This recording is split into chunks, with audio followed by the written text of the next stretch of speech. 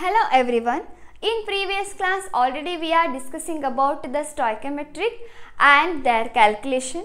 In today's class I wish to explain about the limiting reagents which is very important in your competitive examination. In a NEET examination the more and more questions asked by this limiting reagent now first we have to know the meaning of limiting reagent. So limit means stops. The reagent which limits the reaction. The reagent which stops the reaction is called as a limiting reagent. It's very simply. By saying the meaning of this definition, first I wish to say one day to day example to now the meaning of this limiting reagent. So see here, I wish to make a 5 rotis here. So to make a 5 rotis, I want a 1 glass of water, 1 glass of water and a 2 bowls of flour. 2 bowls, bowls of flour. So, by using a one glass of a water, I pour this water into these two bowls of the flour and mix it together and make a nice dough. And by this dough, I make a five rotis here. And next, if I take a one glass of a water, if I take a one glass of a water and only one bowl of a flour only one bowl of a flour here.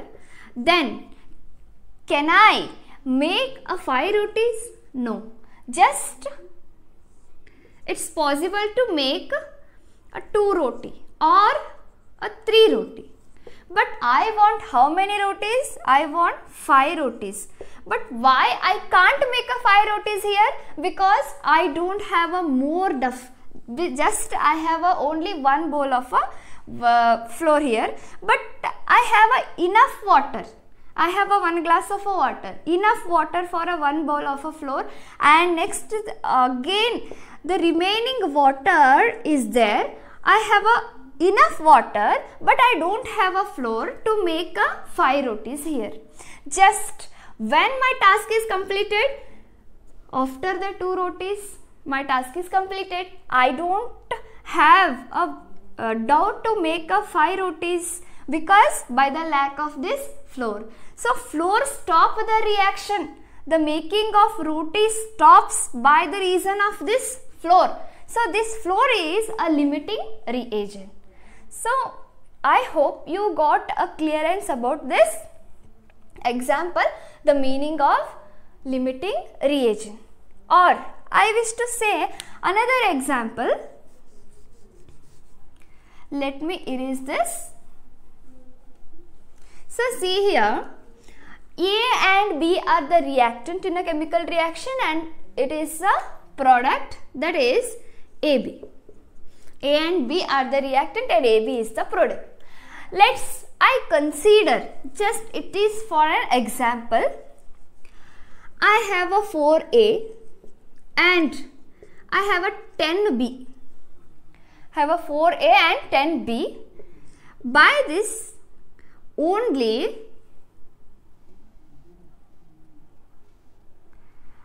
I want 6ab here. I want 6ab. But 4a reacts with 4b. Then we got 4ab how I want 6 AB I want here. But when the reaction stops here only 4 AB up to 4 AB the reaction is stopped. Why? There is no A. There is no A to reactant with the B. But the remaining 6B is there. But this 6B don't have a A to react with this A. That's why we got only a 4AB. So the A reactant is responsible for stopping the reaction. A reactant is our limiting reagent. So reactant that is totally consumed when the chemical reaction is completed. AB is formed, the re chemical reaction is completed.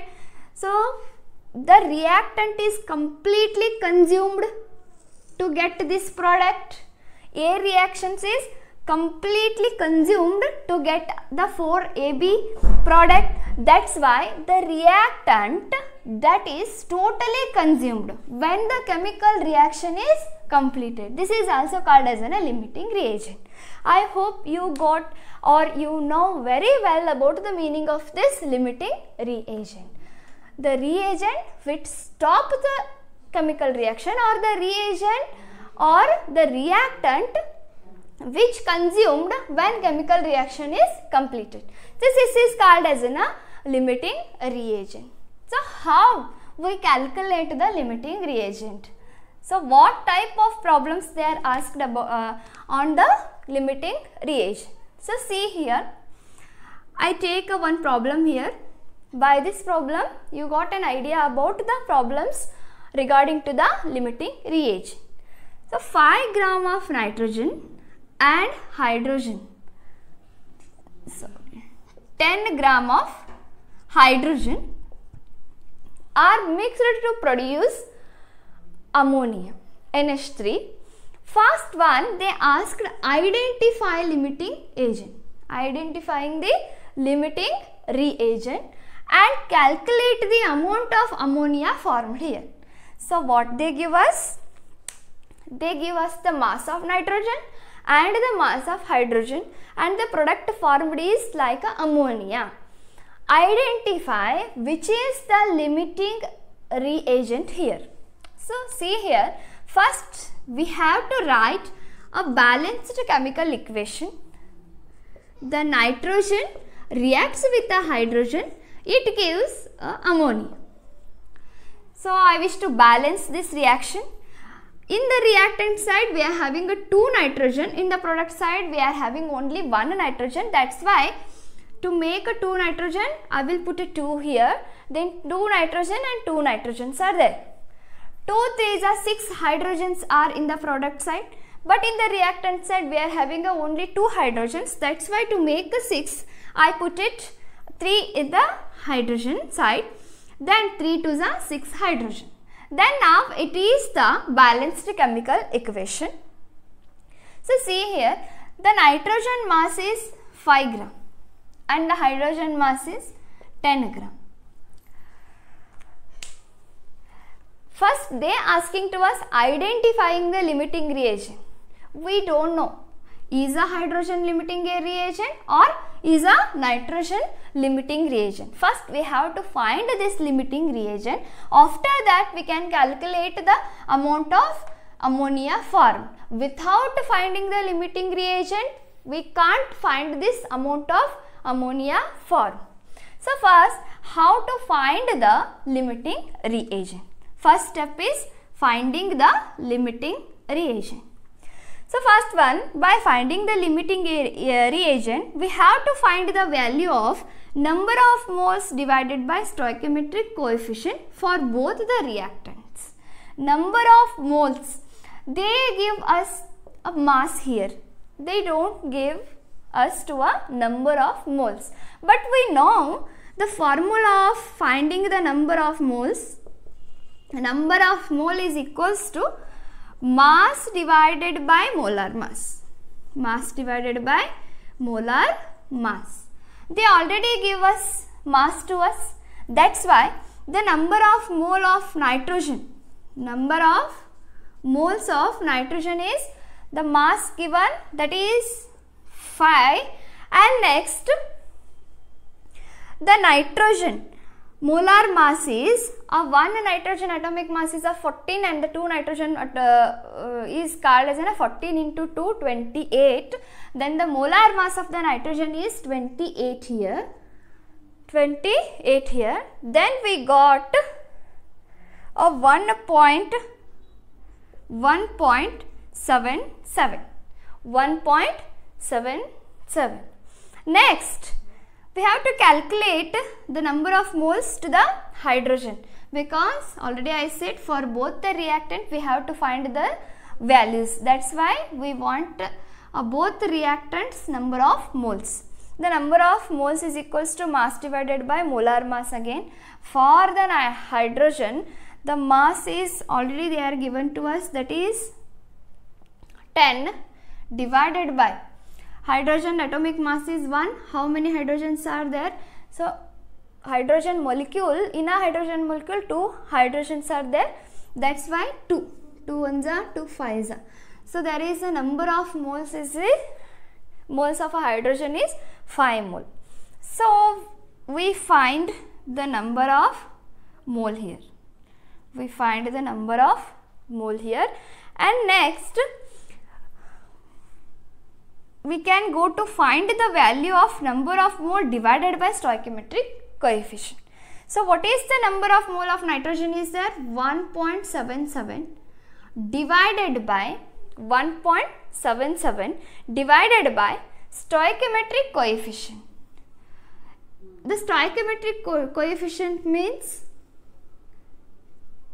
so that the thing is there the meaning is 1 nitrogen is 1 mole of nitrogen is there. That's why this is the stoichiometric coefficient. So 3 is the stoichiometric coefficient. 2 is the stoichiometric coefficient. So the number of stoichiometric coefficient to the nitrogen is 1 and next to the hydrogen number of mole. How many numbers number of mole is there? 5 we got answer 5 divided by stoichiometric coefficient. So stoichiometric coefficient is 3 then 3 so 5 by 3 so this is more about 3 vanza 3 vanza and next 1.36 6 more about you got the value 1.6 and 1.7 divided by 1 is equals to 1.77. So see here finding the value of number of mole divided by stoichiometric coefficient for the both reactant is the number of mole divided by stoich stoichiometric uh, sorry stoichiometric coefficient for the nitrogen is 1.77 and the number of mole divided by stoichiometric coefficient for the hydrogen is 1.66 and then observe among the two which is the least value which is the least value and that least value reactant is called as a limiting reagent. So, we are having a 1.6 is the least value here for the hydrogen we got a 1.6 value then hydrogen is the limiting reagent. So in this reaction, in this reaction hydrogens having the value 1.66 and nitrogen having the value 1.77. 1.66 is the least that's why hydrogen is a limiting reagent limiting reagent in this reaction. In this reaction. So this is finding the identifying the limiting reagent. So once again i wish to repeat the limiting reagent the finding the limiting reagent. First find to find the limiting reagent we have to find the value of number of moles divided by stoichiometric coefficient for both the reactant. So first they don't give us the number of moles but they give us mass to us. So by the help of their given mass we have a formula that is the number of mole is equals to mass divided by molar mass. By help of this formula we got the number of moles both the reactant then the number of moles of nitrogen is like this and the number of moles of hydrogen we have to calculate it here. And then we got the answers by applying this formula. We put the value of number of mole which already we have to calculate it here the number of mole divided by stoichiometric ratio then we got uh, some values here and by observing that values so which is the least value and that is called as a limiting reagent so this is the way to find the limiting reagent and next is calculate the amount of ammonia formed or NH3 formed. How to calculate the amount of NH3 formed, formed here? Let us see the reaction. Once again I wish to write the reaction nitrogen and hydrogen to form a ammonia. To balance this we put it the coefficient. So this is our reaction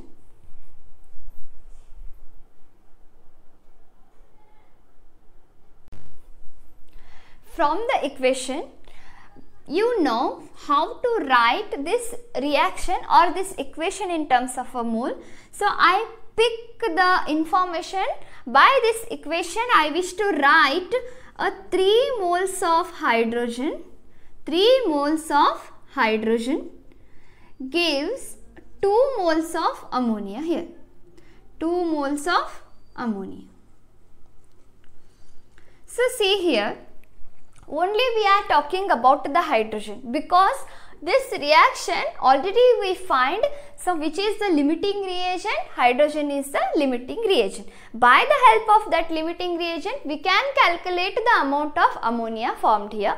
That's why i take only i took the information by the equation only regarding about the hydrogen here. The 3 moles of hydrogen gives us to a 2 moles of ammonia. So, let me write here 3 moles of hydrogen gives 2 moles of ammonia. It is a standard, these values are comes from this standard equation. But how many moles of the hydrogen we are having in this reaction? In a 10 gram of hydrogen how many moles we are having? 5 moles. Already we are calculated. So 5 moles of hydrogen gives how many moles of ammonia here? Just by the cross multiplication we got the answer here.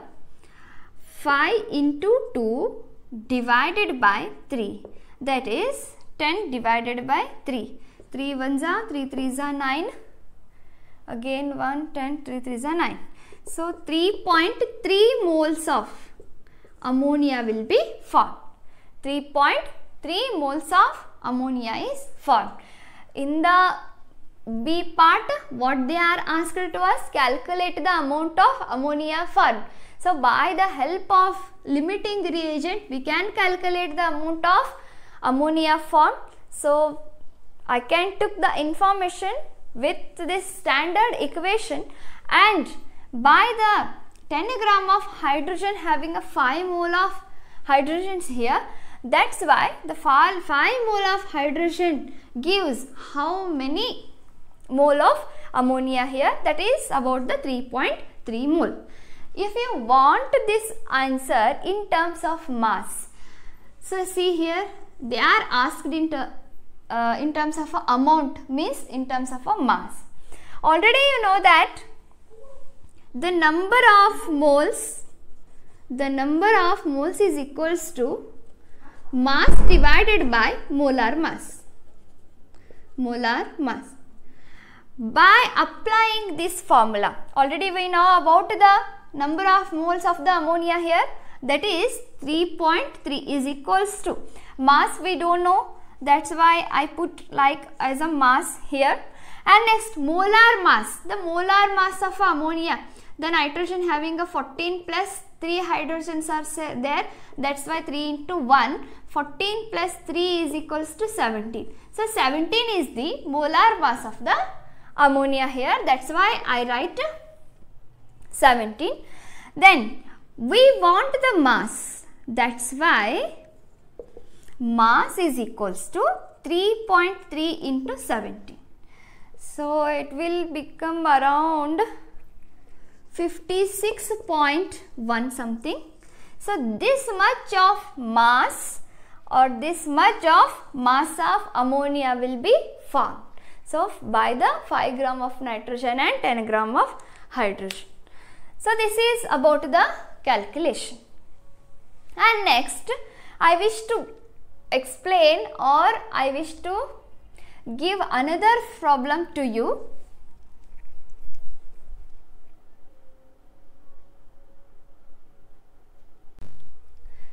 The next problem is 1 gram of a Mg magnesium burnt in a closed vessel containing 0.5 gram of oxygen. Then what happens here? The Mg undergo the combustion and the Mg reacts with the oxygen in a closed vessel. It gives us to a MgO. Then what they are asked to us which is a limiting reagent which is the excess reagent and how much MgO form. So this question I picked from your previous NEET question paper but this is a excess question I added here. So which is the limiting reagent? First we have to find the limiting reagent of this reaction. That's why in our first step we have to write a balanced chemical equation here. So the Mg Mg reacts with the oxygen, it forms the magnesium oxide that is MgO. So, next step I wish to balance this equation. I put a 2 to balance the oxygen then 2 oxygen and 2 oxygens are there and 2 magnesium is there in the reactant we have only one magnesium that's why I wish to put a 2 here. Then this is our a balanced equation. Next, we have to find by using the formula or by using the formula, we have to find the limiting reagent. That formula is the number of moles, number of moles divided by stoichiometric, stoichiometric coefficient stoichiometric coefficient. So, first we have to know about the number of moles. But they are given to us the mass 1 gram of magnesium and the 0.5 gram of oxygen. They are given us a 1 gram of magnesium and 0.5 gram of oxygen. They give a mass to us and then we have to find the number of moles. Already you know that to find the number of moles or we are having the formula the number of moles is equals to mass divided by atomic mass or their molar mass. Atomic mass or their molar mass. Next. So we have to find the number of mole for the magnesium.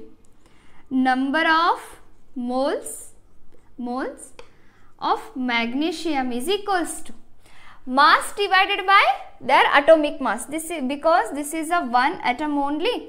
That's why I write uh, atomic mass here. So mass they are already given to us 1 gram of Mg. That's why 1 divided by their atomic mass. The atomic mass of the magnesium is 24. And next I have the answer here 0.04. So, the number of moles of magnesium is 0.04 mole. And next, the number of moles of oxygen is equals to the mass they are given to us that is about the 0.5 divided by the molar mass because we are having a oxygen molecule here so, one oxygen atom having a 16 gram and the two oxygen 2 into 16 is equals to 32. So, 0.5 divided by 32 is equals to 0.01 mole. So, we got the number of moles of magnesium 0.04 mole and number of moles of oxygen that is 0.01 mole. And next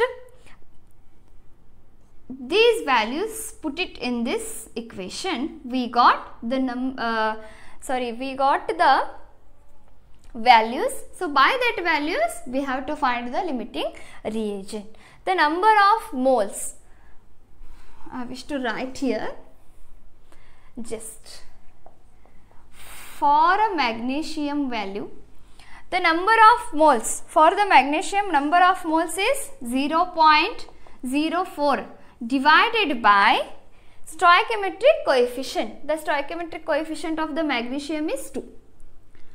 2 is equals to 0.04 divided by 2 is equals to 0.02 here and next for oxygen for oxygen the value is the number of moles for oxygen is 0.01 divided by the stoichiometric coefficient that is 1 here. 1 is equals to 0.01 so among these values compare these values. So which one is least value? So least value is 0.01 so the oxygen is limiting reagent for this reaction. So now we find 0.01 oxygen value. That's why this is the this is a limiting reagent to us. And which one is the excess reagent?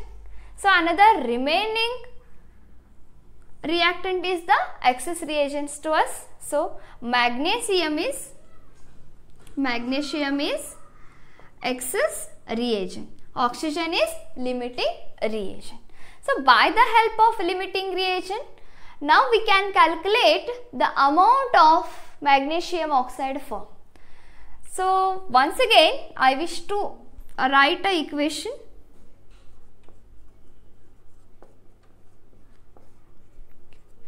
to MgO. So this is our reaction just we are taking the data only about the oxygen and the product formed because the limiting reagent is oxygen here. Then no no no no right. Then 1 mole of oxygen 1 mole of oxygen gives a 2 mole of magnesium oxide here so 1 mole of oxygen gives 2 mole of oxygen here. So how many mole of oxygen in this reaction actually we are having? The number of mol moles of the oxygen is 0.01 mole. That's why 0.01 mole of oxygen 0.01 mole of oxygen gives how many mole of magnesium oxide here. Then now we have to cross multiply here 2 into 0 0.01 divided by 1. Now we got the answer 0 0.02. So 0 0.02 moles of magnesium oxide is formed. 0 0.02 moles of magnesium oxide is formed. So this answer will in the forms of mole but we want in terms of a mass. If we want in terms of a mass then you know already the number of mole is equals to mass divided by atomic mass or their molecular mass. That's why let me erase this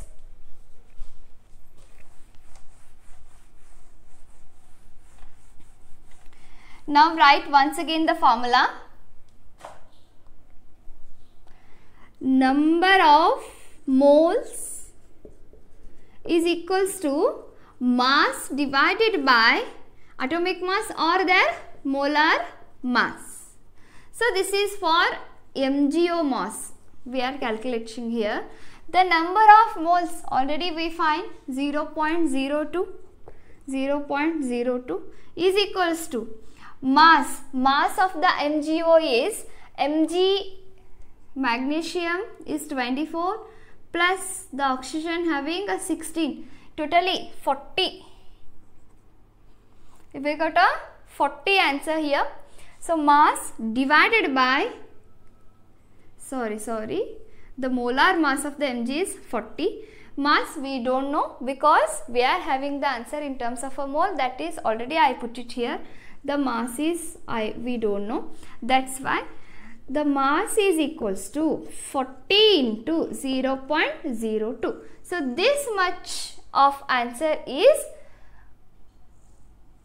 mass of the MgO or the mass of magnesium oxide is 4 So this is about the calculation of limiting reagents.